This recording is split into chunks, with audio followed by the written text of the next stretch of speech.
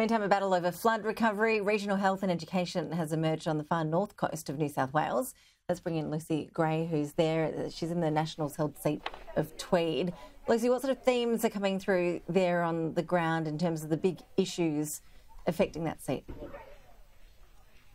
Well, there are a number of issues that are coming forward from voters that we're speaking to here at this polling booth. This is one of three national battleground seats here in Tweed. It's held on a small margin of 5% by local MP Geoff Provest, and he's held this seat since 2007 and he's running for another term. This Tweed was badly affected by record floods last year, so issues like rebuilding community infrastructure, regional health, education, and of course homelessness are really some of the top issues for voters in this region. When it comes to candidates, the Nationals are facing a dual threat, one from Labor and one from the Greens. Now, we spoke to the ALP candidate last hour, uh, Craig Elliott, and he is running for the second consecutive year. He was obviously unsuccessful in 2019, and when we spoke to him, he was very critical of the current Nationals MP. He accused him of taking not being not taking enough action to help the people in this region. He thinks that the Nationals MP Geoff Provest is a weak voice for the people of Tweed. Here's what he had to say.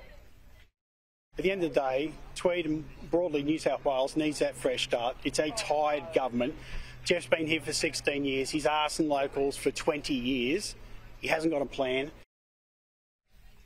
Let's bring in the incumbent, Geoff Provest, for his response. Geoff, you're holding this seat on a margin of 5%. It's quite small.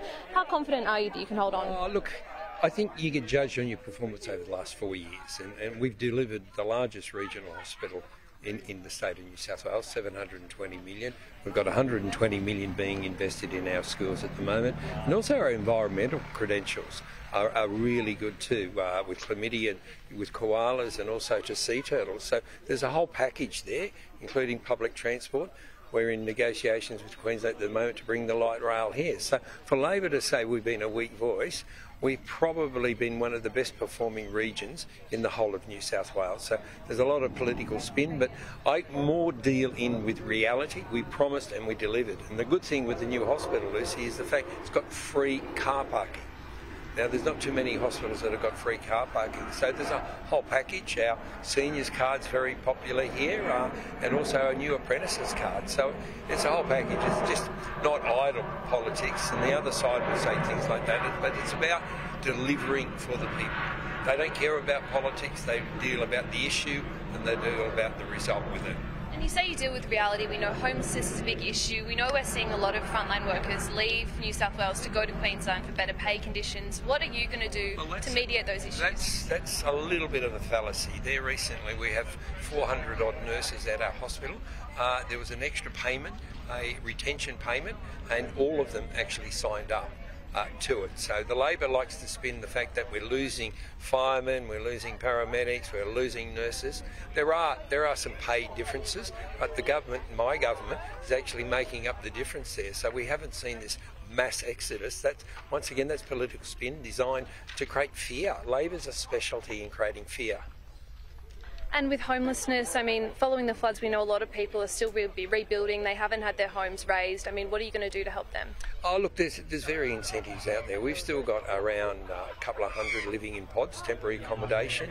Uh, recently, we opened another 50 units in a $20 million uh, tower that we've actually built. So I think we need to look at the planning issues here as well. Like I don't support any more further development on floodplains. I was out to my knees in mud and out in a boat during the floods and yeah, we just need to release some more land and, and get it. But on the north coast, development's always a, a, a cloudy word. So, but I'd like to do more in, in that regards. And job, all our job is just to keep the people safe. And just finally, one of Labor's key criticisms is that there's a disconnect between the regions and the metropolitan areas. We know Dominic Perrottet hasn't visited Tweed this election campaign. Why has he been absent? Oh, look, he, he hasn't visited, but Paul Toole, my leader, has been here numerous times. There's no disconnect. In fact, the regions are far better off under the coalition government than the Labor. Labor has now mooted they're going to sack our uh, regional health minister, they're going to cut back on the funding of better, stronger communities. So that's what we're scared in the regions. Uh, we're going to be ignored. I've been in politics long enough, four years on opposition with Labor, and I tell you what, under opposition with Labor, you get nothing. You absolutely get nothing, and under the coalition, we are flourishing. All right, thank you so much for your time, Geoff. So there you have it. That's Geoff Provest, the incumbent here in Tweed. Now, if you look at the federal election results, Labor should have a good chance at snatching this seat, but with a strong Greens vote and, of course, the optional preferential voting, the Nats do still have a chance of holding on. So it would be interesting to see if those traditional national voters here in Tweed stick or jump ship. Not long until all is revealed. Lizzie Gray, thank you for the update. Live there from Tweed. Well, the Prime Minister Anthony Albanese has been attending polling booths across New South Wales today. He's obviously been supporting state Labor candidates. The Prime Minister cast his vote early this morning at Detroit Point. He later joined the federal member for Bennelong, Jerome Laxale, at the ballots in West Ryde to campaign for the Labor candidate for Ryde, Lyndal Howison. The Prime Minister met local constituents, ate a democracy sausage, and posed for pictures. Howison is competing with the new Liberal candidate Jordan Lane.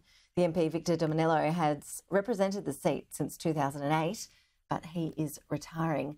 Ryde is a safe Liberal seat. It's on an 8.9% margin held by the Liberals for the past 15 years.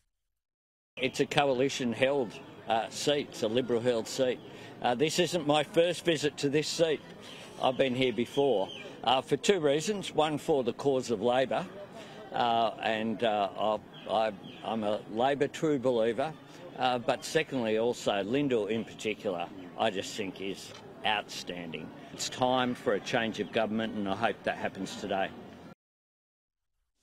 And do tune in to Sky News from 5 pm tonight. We'll have the biggest and best coverage of the New South Wales election night live for you. You can see on our screen our all star lineup. They're going to be bringing you rapid results and fired up debate.